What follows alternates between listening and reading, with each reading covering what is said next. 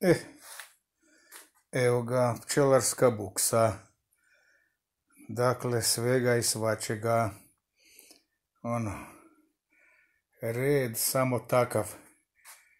Evo, jedan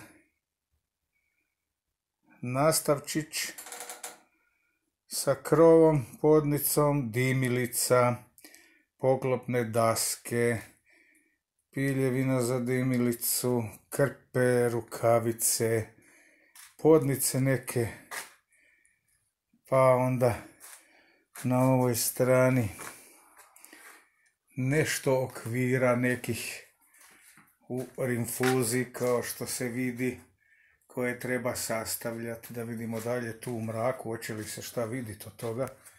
Bicikl, evo ga tu su neki okviri pa neke daske koje su se osušile za košnice. Ah, bit će. Pa onda tu dole mišolovka jedna. Pa ovdje plastika za podnice. Pa ovdje jedna daska za rezanje stiropora. Stari frižider za čuvanje sača, gore na frižideru vaga za vaganje košnica, ovakva digitalna, digitalna vidite, evo, tu se vidi sada, a vaš se i ne vidi, ali recimo, dobro,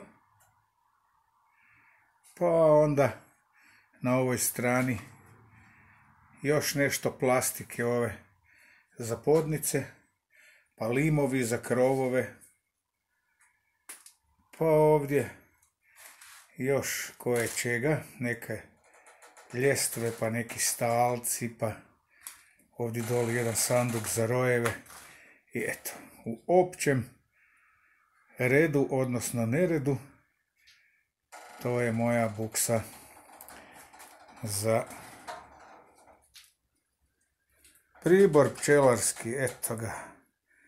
Ovdje kanta koja u stvari, to je kosilica naravno, ovdje kanta koja služi kao sanduk za pčelarski pribor.